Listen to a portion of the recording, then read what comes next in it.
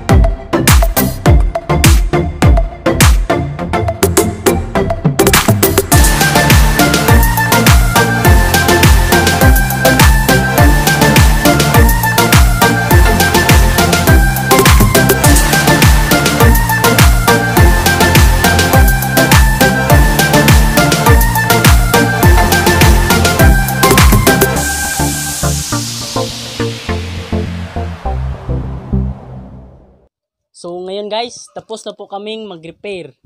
Ito po yon.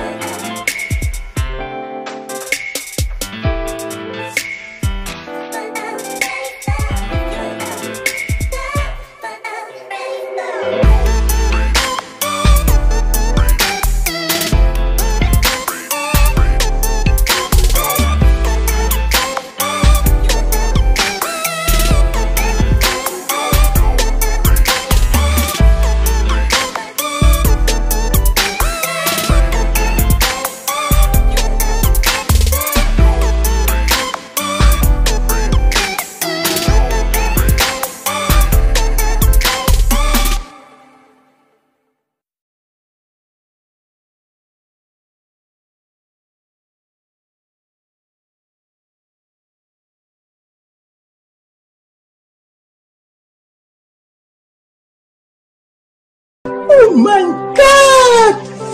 Wow!